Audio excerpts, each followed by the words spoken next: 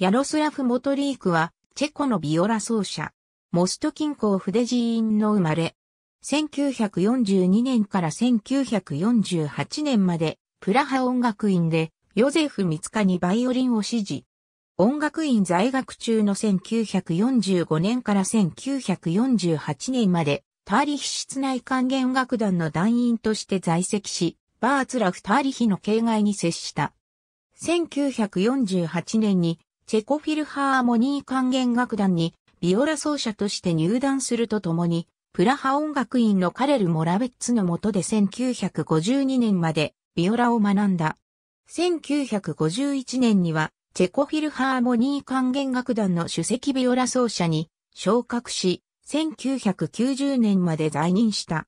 1967年から1973年までイタリアでセルジュチェリビダッケに指揮法を学んでいる。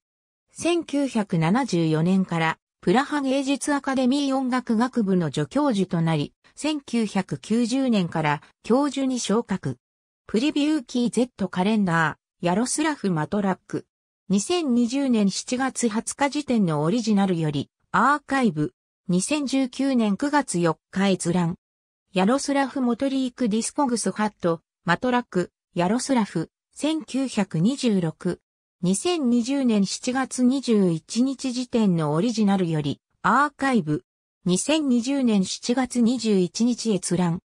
アーカイブ2020年7月19日、ウェイバックマシン、マサミ、ワラシナ。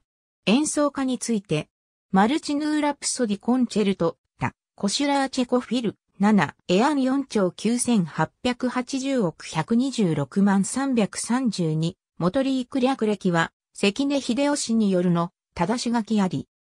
ありがとうございます。